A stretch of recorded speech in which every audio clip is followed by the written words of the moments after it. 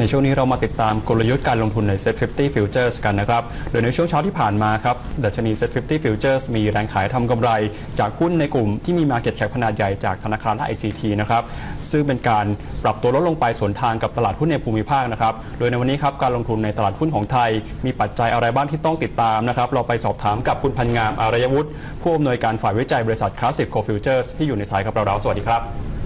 สวัสดีค่ะคุณพันงานคะ ค่ะ สวัสดีค่ะ จากแรงเทขายที่เราเห็นเมื่อช่วงเช้าค่อนข้างจะเผชิญกับแรงเทขายอย่างหนักพอสมควรตรงนี้ คุณพันงานเป็นห่วงภาพการซื้อขาย แล้วก็จากสัญญาณทางเทคนิคทำให้รูปแบบของขาขึ้นเนี่ยเสียไปแล้วหรือยังคะ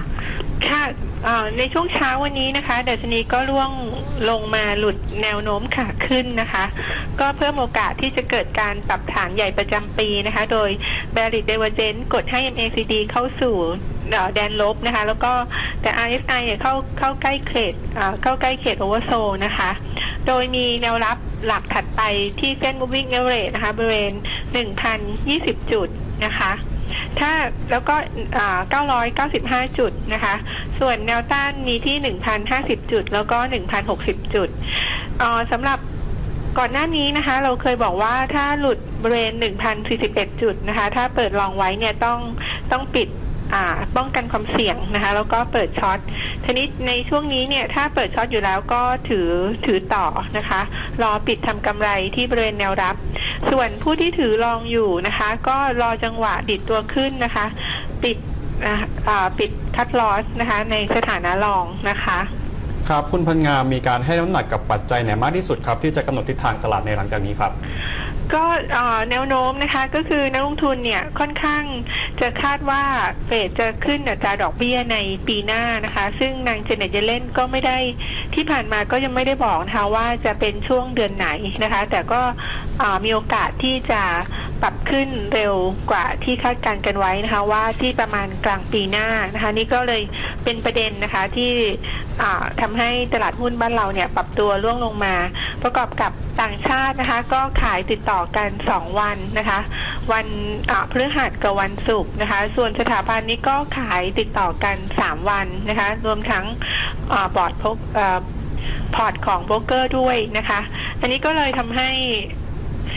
มีแนวโน้มว่าตลาดหุ้นบ้านเรานะคะ มีโอกาสที่จะเกิดการปรับฐานใหญ่ได้นะคะ ค่ะ คุณพันงานคะขอเรียนถามเพิ่มเติมเกี่ยวกับ Market Timing ถ้ากรณีว่านักลงทุนสามารถรอได้ พอจะมีคำแนะนำไหมคะว่าควรจะรอถึงจังหวะหรือช่วงไหน ที่จะเข้ามาลุ้นกับการเปิดโพลิชันหรือลงทุนในเซ็ต50 รวมไปถึงตลาด t f ฟในแง่มุมของสินค้าอื่น ๆ ด้วยอะค่ะ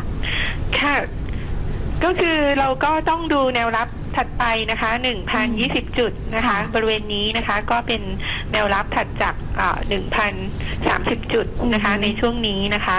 แล้วก็อีกจุดหนึ่งก็คือ 995 จุดนะคะอ่าถ้าหากว่าจะเปิดลองลุ้นการ rebound นะคะ ค่ะครับสส่วนเอ่อหุ้นนะคะที่เราดูอยู่นะคะ ก็มีตัว KTB Z14 นะคะ ซึ่งในตอนนี้นะคะ หลุดบริเวณ moving average 50 ลงมานะคะ ก็มีสัญญาณเชิงลบนะคะ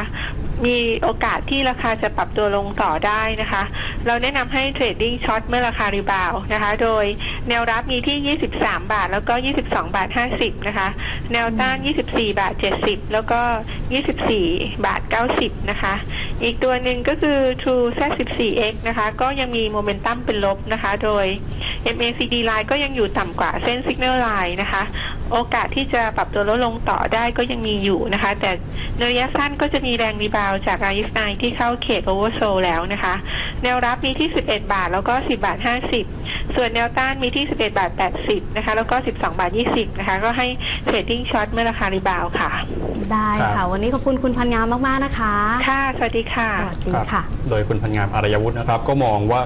SET50นะครับมีโอกาสปรับฐานลงนะครับโดยให้แนวรับถัดไปที่ 1,020 จุดและ1เอ่อและ 995 จุดนะครับโดยนักลงทุนที่เปิดสถานะ short นะครับก็ให้ถือต่อทำกำไรที่แนวรับนะครับแล้วก็มองว่าปัจจัยที่เข้ามากดดันคือการคาดการณ์เรื่องของเฟดที่จะมีการปรับขึ้นอัตราดอกเบี้ยเร็วกว่าที่คาดไว้นะครับค่ะส่วนหุ้นที่น่าสนใจครับมี KTB Z14 นะครับแล้วก็ True Z14X นะครับที่มีโอกาสปรับตัวลงต่อโดยแนะนำให้เทรดช็อตครับ ก็นี่